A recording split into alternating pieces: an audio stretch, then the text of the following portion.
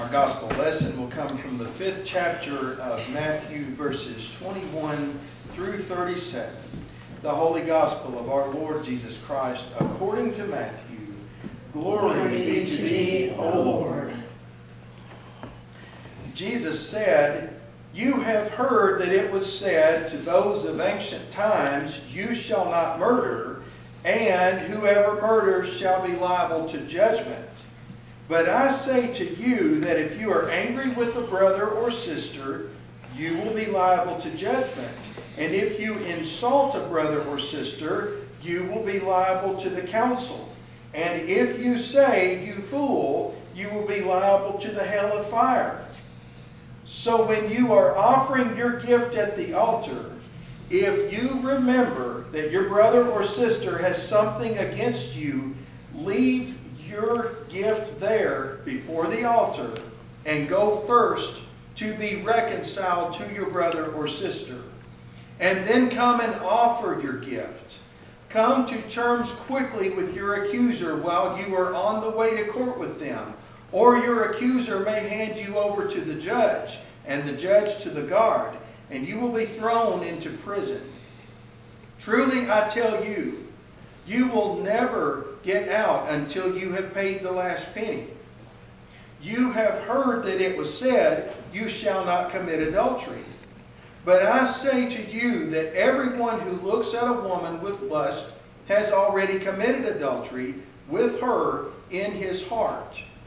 If your right eye causes you to sin, tear it out and throw it away. It is better for you to lose one of your members than for your whole body to be thrown into hell. And if your right hand causes you to sin, cut it off and throw it away. It is better for you to lose one of your members than for your whole body to go into hell. It was also said, Whoever divorces his wife, let him get her a certificate of divorce. But I say to you that anyone who divorces his wife, except on the ground of unchastity, causes her to commit adultery. And whoever marries a divorced woman co commits adultery. Again, you have heard that it was said to those of ancient times, You shall not swear falsely, but carry out the vows you have made to the Lord. But I say to you, do not swear at all, either by heaven, for it is the throne of God, or by the earth, for it is his footstool, or by your head, for you cannot make one hair white or black. Let your word be yes, yes, or no, no. Anything more than this comes from the evil one. The gospel of the Lord. Praise, be to thee, Lord Christ.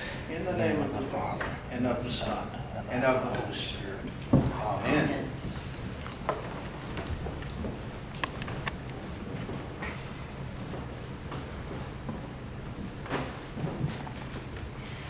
Jesus received a grand introduction in Matthew's gospel, and we've pointed out before that it happened in a relatively brief amount of time.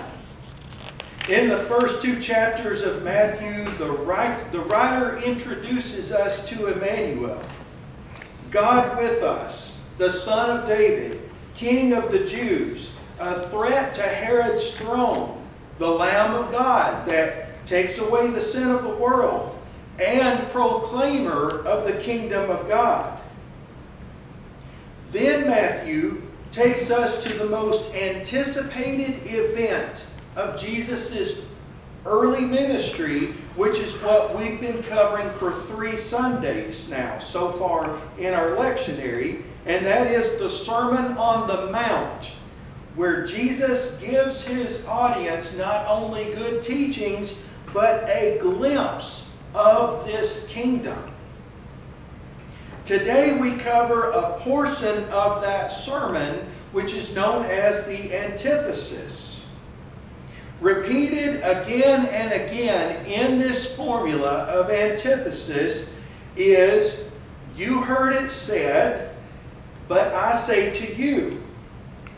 However, there's a little bit of a shortcoming when we refer to these as antithesis because that suggests that Jesus is contradicting whatever he said earlier.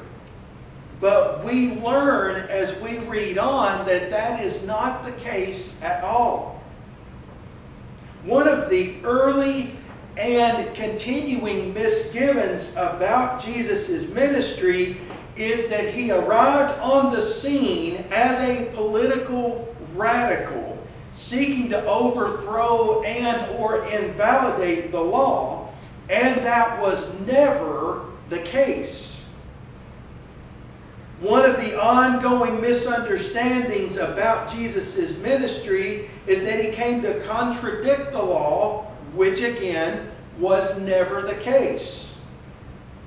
When we study the antitheses, we get instead a clearer picture and a life changing lesson about Jesus' view of the law and also the breadth of his ministry and teachings. Jesus is showing what he meant earlier in the Sermon on the Mount when he said he came not to abolish the law, but to fulfill it, and to teach a greater righteousness. Jesus said, If your righteousness does not surpass that of the scribes and Pharisees, you will never get into the kingdom of heaven.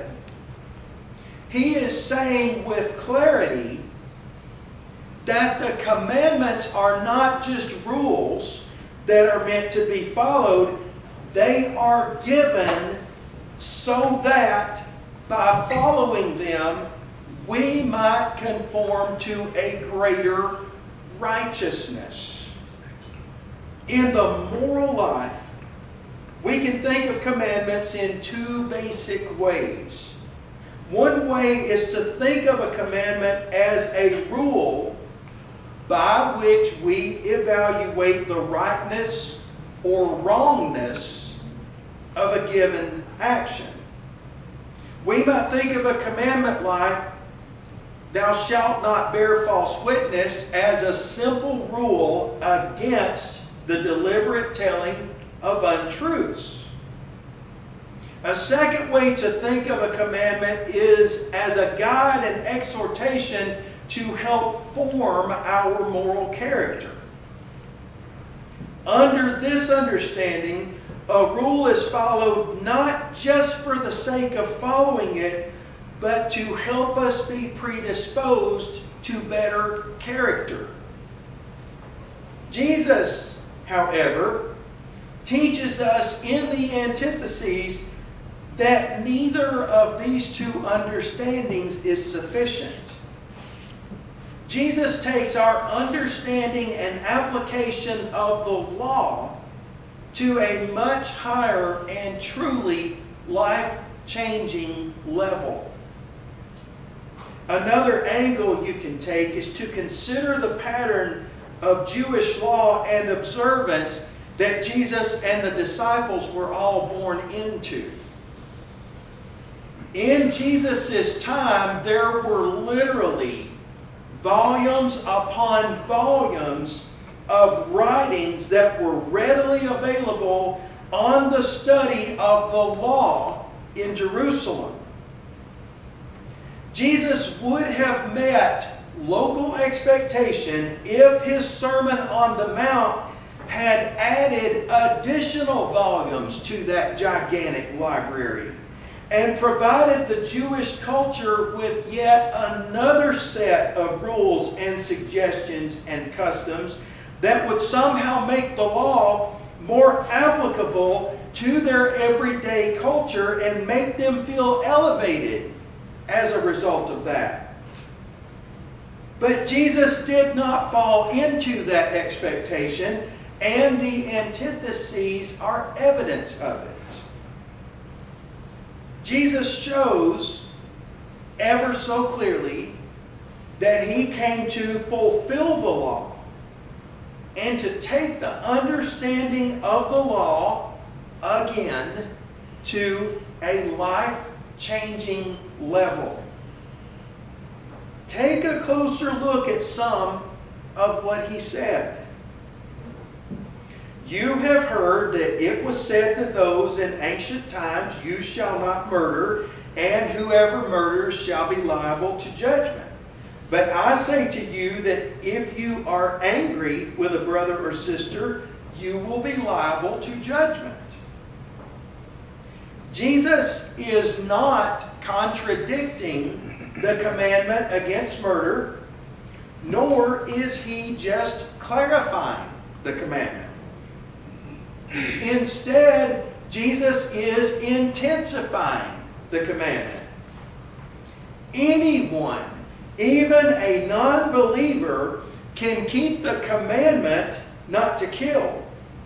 But our human nature, our flawed human nature, can still cause us to hate and despise others and to even wish that certain people were dead. We can follow the rule and still in our minds kill people and still in our minds treat people as if they were dead. Jesus shows that the fulfillment of the commandment not to kill is the formation of our hearts and minds so that we look at others not with anger, but with love.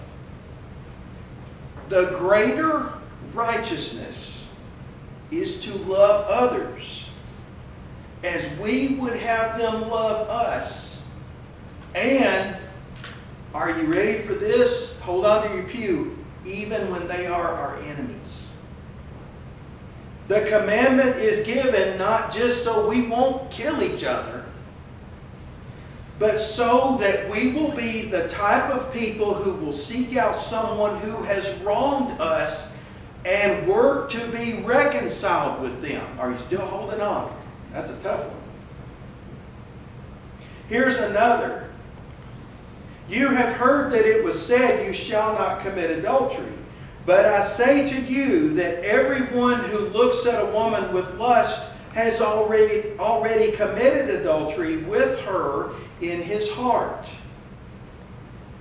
Again, Jesus is not contradicting the commandment against adultery, and he is not simply clarifying it. He's not giving a new application to it. He is taking the commandment to a life-changing level. Jesus knows that even if we keep the commandment not to commit adultery, we can still demean and belittle with lustful looks and thoughts, treat others as objects, and take what doesn't belong to us even at a distance. Jesus shows that the fulfillment of the commandment not to commit adultery is really a faithful heart that cherishes our spouses and respects the dignity of others. And yet another. You've heard that it was said to those of ancient times, You shall not bear falsely, but carry out the vows you have made to the Lord. But I say to you, do not swear at all, either by heaven, for it is the throne of God, or by earth, for it is his footstool, or by Jerusalem, for it is the city of the great king. And do not swear by your head, for you cannot make one hair white or black. Let your word be yes, yes, or no, no. Jesus is not contradicting the commandment against swearing falsely, he is intensifying it. Even if we can keep ourselves from swearing falsely, we can still manipulate others with our words and lead them astray with our tongues. we can make frivolous oaths in the name of heaven and belittle God's holy name. Jesus shows us that the fulfillment of the law is not just to restrain ourselves from swearing falsely, but that our words are so honest that we never even need an oath. The greater righteousness is to let your yes be yes and your no be no. The commandment is given so that we would become honest people through every aspect of our character. This is life changing. It's not simply life altering, it's transformational.